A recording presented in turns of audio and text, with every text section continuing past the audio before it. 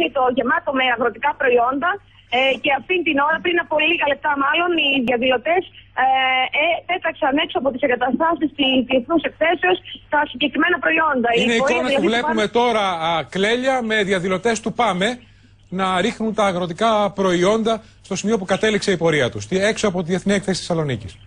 Ακριβώς. Και μια τρίτη πορεία, Νίκο, βρίσκεται σε εξέλιξη αυτή την ώρα, ε, έξω από την ε, πλατεία της ΚΑΜΦ, έξω από τις εγκαταστάσεις της Διεθνούς Έκθεσης, η πορεία των πρωτοβάθμιων σωματείων και αντιεξιαστών, η οποία ξεκίνησε νωρίτερα από την Καμάρα. Είναι εικόνα που βλέπουμε τώρα